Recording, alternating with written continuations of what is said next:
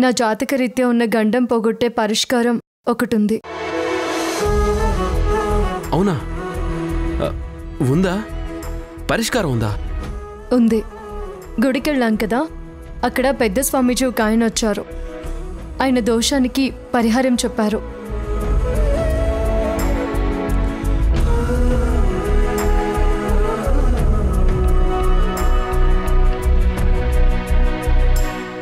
ఈ గుడిలో నువ్వు ఆ శంకరుడికి నూట ఎనిమిది అంగప్రదక్షిణలు చేయాలి. నూట ఎనిమిది పొర్లు దండాలతో ప్రదక్షిణలా? అవును నందు. ఇంతకంటే మంచి మనకేముంటుంది? అంత తేలిగ్గా ఎలా చెప్తావు మేఘన? పొర్లు దండాలు పెడుతూ ఒక ప్రదక్షిణ పూర్తి చేసేసరికి మైకం వచ్చేసినట్టు అయిపోతుంది కళ్ళు తిరిగిపోయి కడుపు పట్టేసినట్టు అయిపోతుంది అలాంటిది మూడో ఐదో పదకొండో కాదు. ఏకంగా నూట ఎనిమిది ప్రదక్షిణాలంటే ఎంత కష్టమో తెలుసా? అసలు అలా చేయటం సాధ్యమేనా? ఇది జరిగే పని కాదు. నువ్వు చేయలేవు మేఘనా. వద్దు. ఇంకేదైనా పరిష్కారం ఉందేమో అడుగుదాం. అయ్యో అలా అనొద్దు. నేను చేస్తాను. ఏంటి నువ్వు చేసేది? అలా చేయటం ఎంత డేంజరో తెలుసా? పొద్దున్నుంచి ఉపవాసం ఉంటూ పొర్లు దండాలు పెడుతుంటే బాడీ డీహైడ్రేట్ అయిపోతుంది. ప్రాణాలు కూడా పోయే పరిస్థితి వస్తుంది. నీకోసం నేను కష్టం చేయలేనా?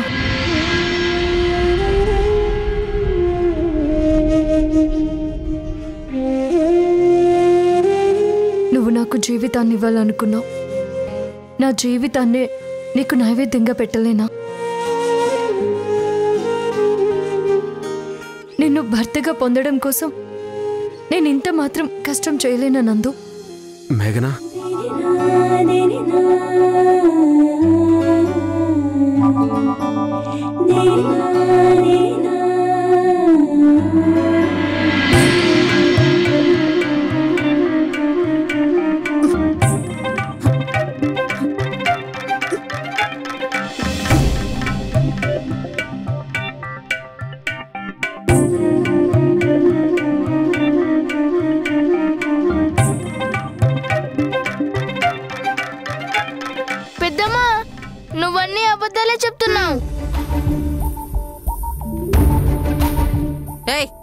ఏంటా మాటలు?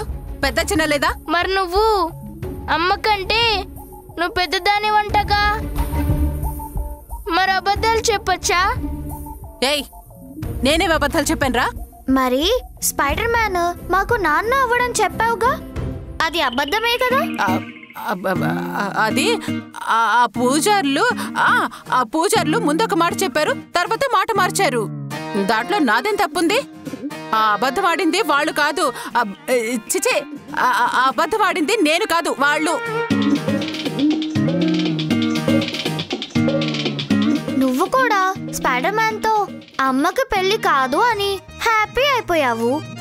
ఇప్పుడేమో స్పైడర్ మ్యానే అమ్మని పెళ్ళి చేసుకుంటాడంట. మరి ఇప్పుడు నువ్వు ఏం చేస్తావు? ఏడుస్తావా? నేను ఏడుస్తానా? నేను ఏడుస్తానర్రా? అవును పెద్ద మేడొస్తుంది.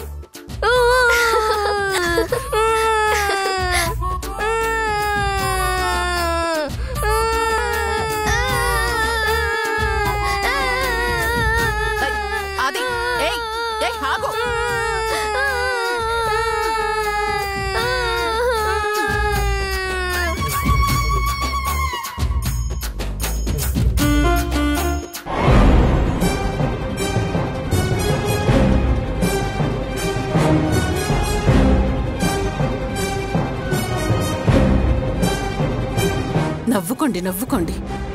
ఇప్పుడు కాదు పెళ్ళి పెటాకులయ్యాక అప్పుడు నవ్వుకుందరు గాని.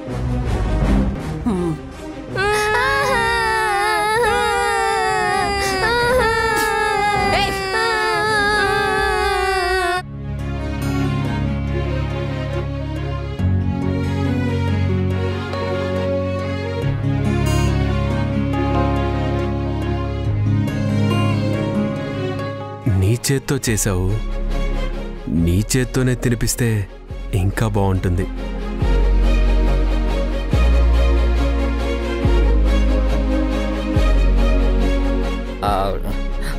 నాకు బయట ఏదో పని ఉన్నట్టుంది బస్సు నేను వస్తాను.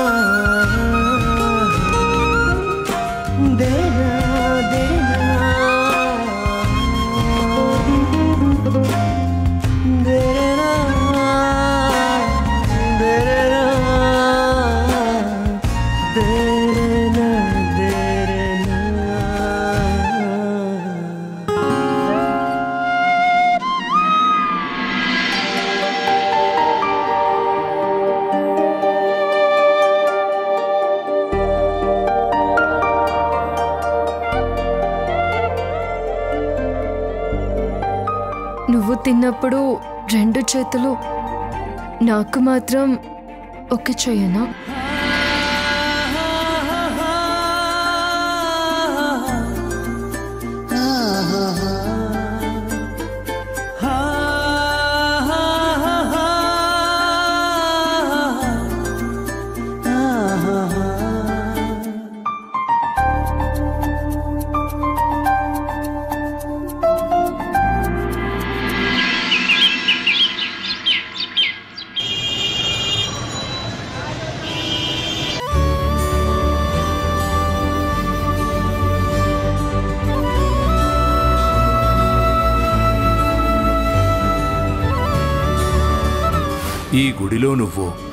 ఆ శంకరుడికి నూట ఎనిమిది అంగప్రదక్షిణలు చేయాలి.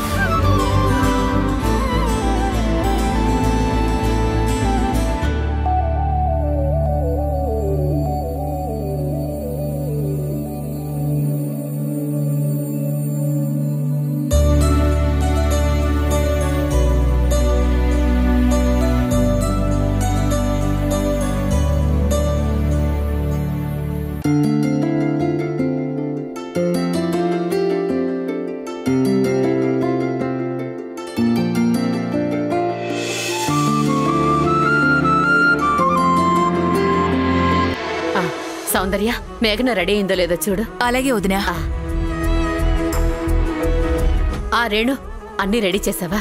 ఆ, చేశాను అత్తయ్య ఆ, సరే పద.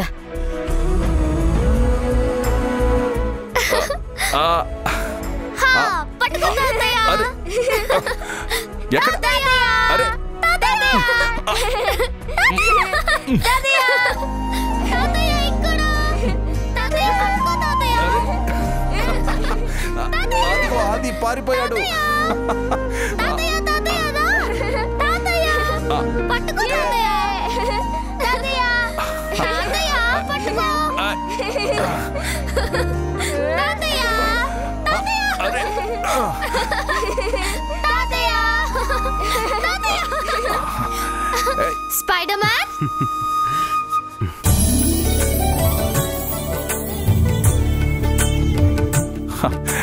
నందు రా బాబు. కూర్చో. కూర్చో.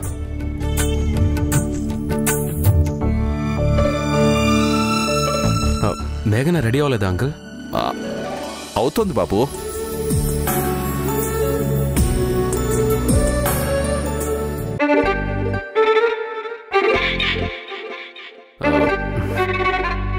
అది నువ్వు గుడికి రావట్లేదంట కదా? ఏమో? అమ్మా నాతో చెప్పింది. ఏం కాదు అన్నీ అబద్ధాలే. నిజమా అది?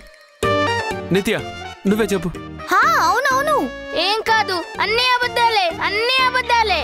నేను కాదు నువ్వే రావట్లేదు.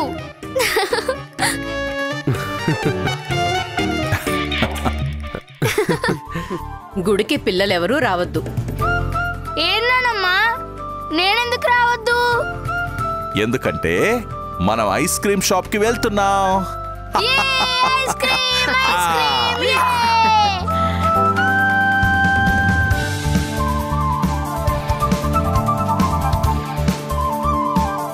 ఏంటి వదిన గారు? మీరు గుడికి రావట్లేదా? నేనా? నేనెందుకు? మా పెళ్ళి జరగకూడదని కోరుకుంటున్నారు కదా? నేనా? నేను కోరుకుంటున్నానా? అలా అని నేను ఎప్పుడైనా అన్నానా? మరి ఎప్పుడు మొహం అలా చిరాగ్గా ఎందుకు పెట్టుకుంటారు? ఆ, నా మొహమే అంత. అయినా నేనెలా ఉంటే నీకెందుకయ్యా? అది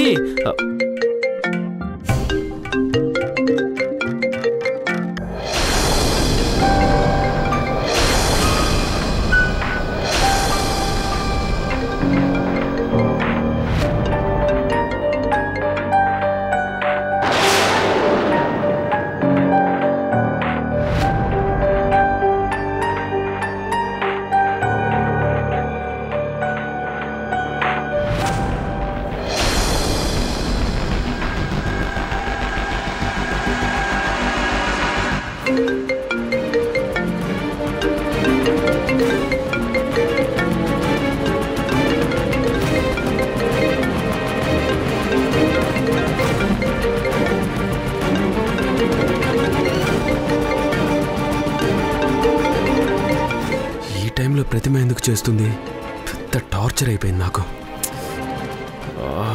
ఆన్సర్ చెయ్యాలా వద్దా?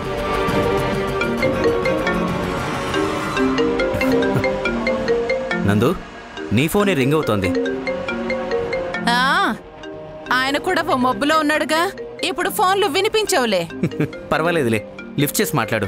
లేదంటే అవతల వాళ్ళు మేఘనన్ను తిట్టుకుంటారు. అలాగే అండి.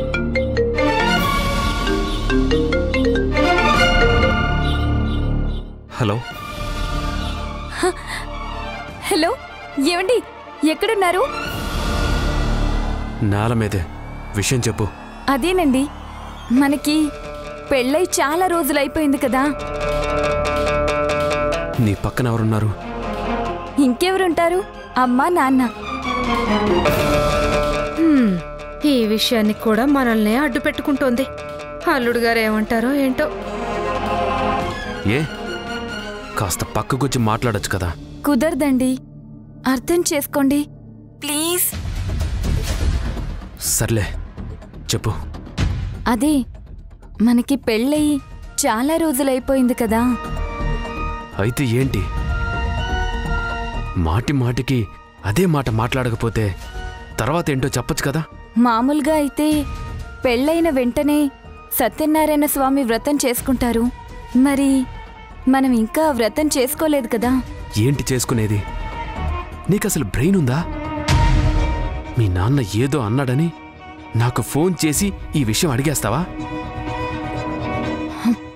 అదేనండి. నాకు తెలుసు. కానీ నాన్న సైలెంట్గా ఉండకుండా ఈరోజు ఇంటికి ఎవరో తెలిసిన శాస్త్రి గారు ఒక ఆయన వస్తే ఆయన అడిగేశారు. ఆయన ఈ రోజే మంచి రోజని చెప్పేశారు. చెప్తే ఏంటి? అదేనండి.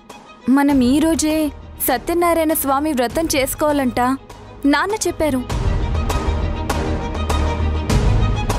నేను రాను.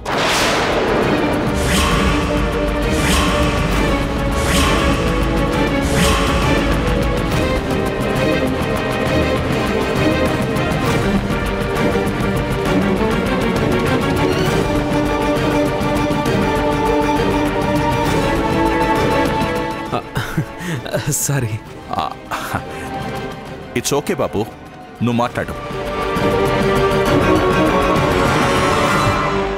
చాలా ఇంపార్టెంట్ పనిలో ఉన్నాను. ఇప్పుడు రాలేనని మీ నాన్నతో చెప్పు. నాకు కుదరదు.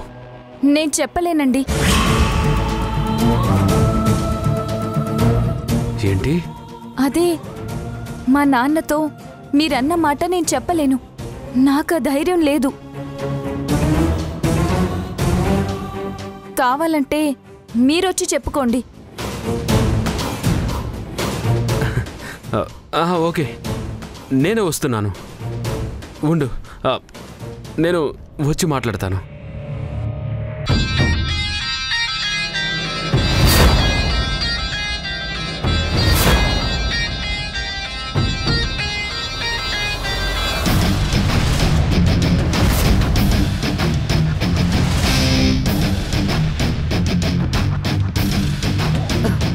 ప్రతిమ నిజంగా పెళ్ళవకుండా వ్రతం చేసుకోకూడదమ్మా.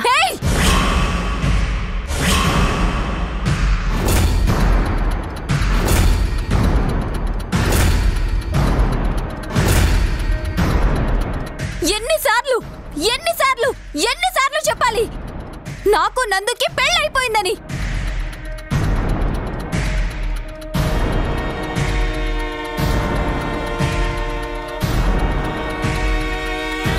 నువ్వొస్తావని నాకు తెలుసు నందు.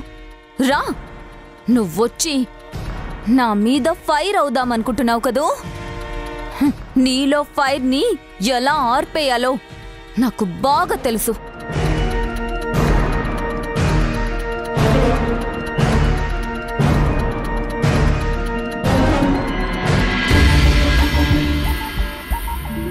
అదేంటి పాపు? మేఘన ఆశల మీద ఇలా సడన్గా నీళ్ళు చల్లేసావు ఆ, అది అంటే నాకు ఆ, సడన్గా అర్జెంట్ వర్క్. నేను వచ్చేస్తానండి. పని ముగించేసుకొని నేను డైరెక్ట్గా గుడి దగ్గరకు వచ్చేస్తాను. వెళ్ళనివ్వండి నాన్న. ఆఫీస్లో అర్జెంట్ వర్క్ అంటున్నాడుగా. వెళ్ళనివ్వండి ఆఫీస్లో తనకు కూడా పైవాళ్ళు ఉన్నారు. పైవాళ్ళతో ప్రాబ్లమ్స్ ఎలా ఉంటాయో నాకు బాగా తెలుసు. సరే. వెళ్ళు నందు. కానీ త్వరగా గుడికెళ్ళిపో. అలాగేనండి. వస్తాను.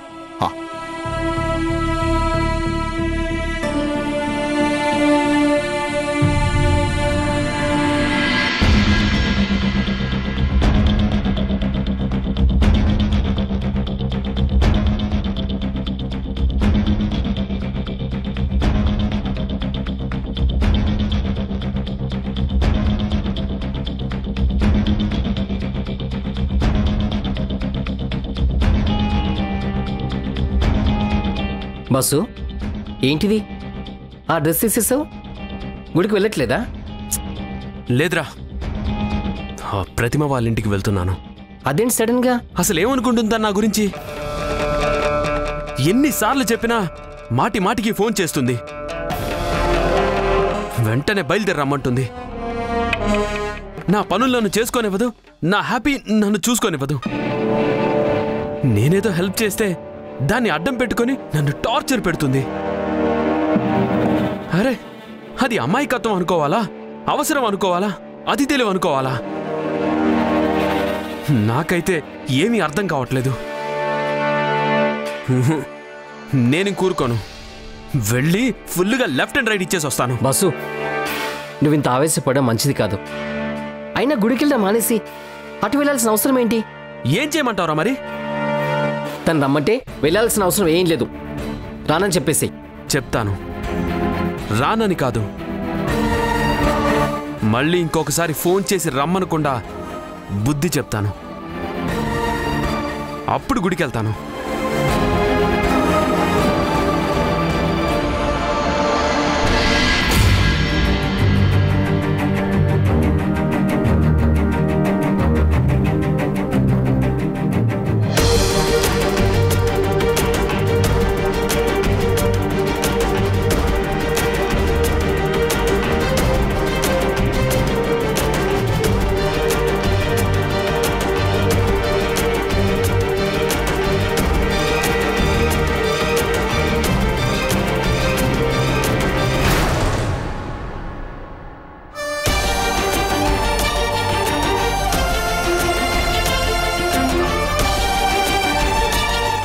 ఎక్కడికి వెళ్తున్నాడు? గుడికి వెళ్ళాలని రెడీ అయి వస్తానన్నవాడు. ఎక్కడికంత స్పీడ్గా వెళ్తున్నాడు?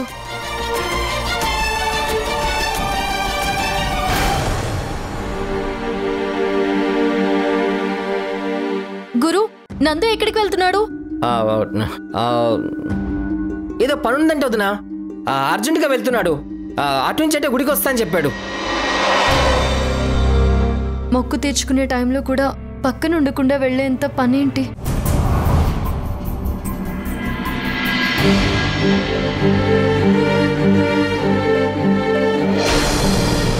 ఏంటి మేఘనా? నందు వెళ్ళిపోయాడని ఫీల్ అవుతున్నావా? ఇలాంటప్పుడు పక్కనే లేకపోతే మేఘనా ఎందుకలా బాధపడుతున్నావు? గుడికి వచ్చేస్తాడులే మనం వెళ్దాం? సరేనా పద పదమ్మా ఉం.